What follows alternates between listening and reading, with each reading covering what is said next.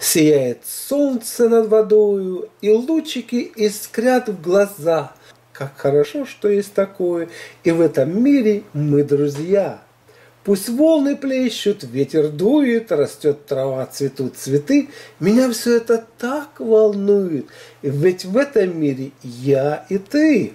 В избытке сил обновления, познавшие радость и любовь, простом ты видишь все творение и к жизни новой вновь готов.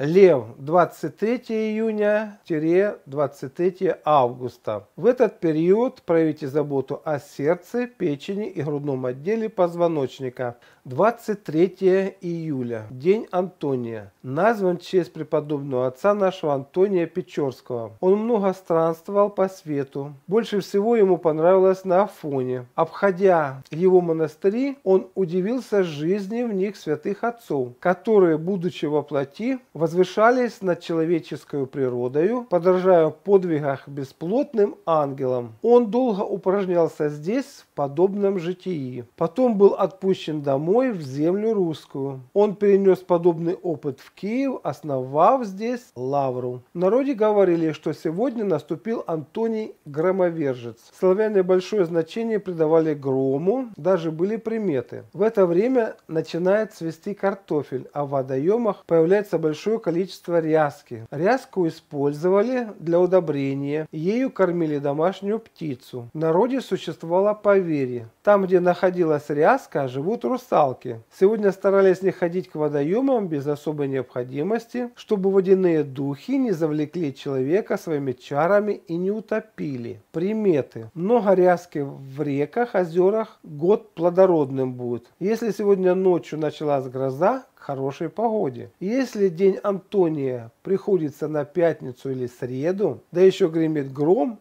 рыбалка будет успешной. Стручки акации поспели, Значит, рожь созрела. Готовься к уборке. Артистка шоу «Большая разница» Света Галка. Здравствуйте, Геннадий Петрович. Доброе здоровье. Света, вы еще служите в театре?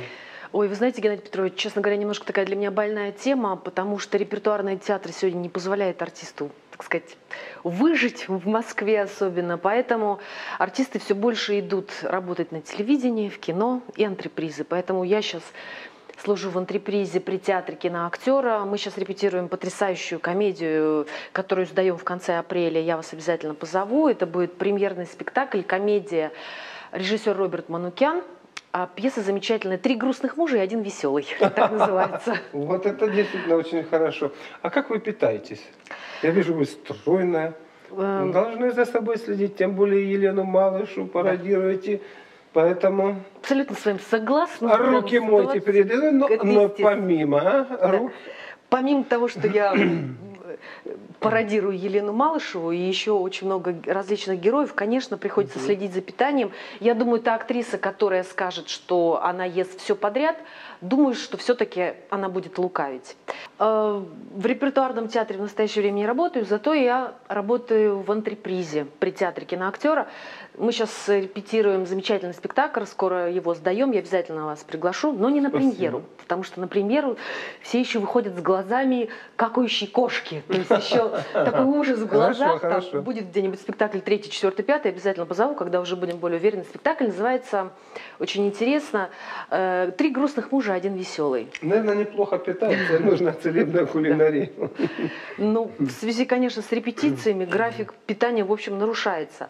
Хотя в связи с тем, что у меня есть проблемы с желудком, я все-таки стараюсь приготовить а что-то что это за проблемы с желудком? Ну, я думаю, что многие артисты вам скажут, что у них проблемы с желудком из-за нерегулярного питания. Ну, гастрит. То есть как только... Воспаление да, оболочки. Только сбои в питании, как только это бутерброды и кофе, но сразу... не только сбои в питании влияют на, наши, на нашу слизистую желудка. Оказывается, эмоциональное состояние очень угу. сильно влияет. Еще даже более сильнее, нежели питание. Это надо запомнить. Я даже скажу больше, когда я ходила к гастроэнтерологу, он сказал, один из рецептов – это философское отношение к жизни.